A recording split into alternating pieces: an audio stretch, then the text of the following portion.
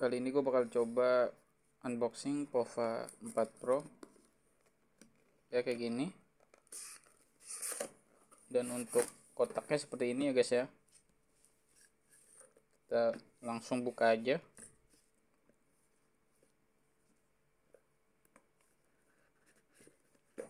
Nah ini penampakannya ya. Ada handphonenya dapat kartu smartphone dan ini isi di dalam boxnya. Ada sim card injector garansi 12 bulan plus satu bulan. Petunjuk penggunaan. Kartu garansi. Udah dapet soft cash juga ya guys ya lumayan.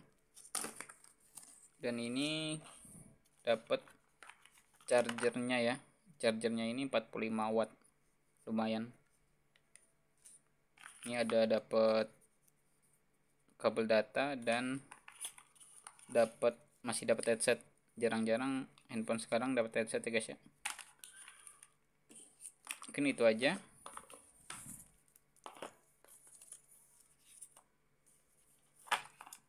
nanti kita bakal review untuk handphonenya ya guys ya.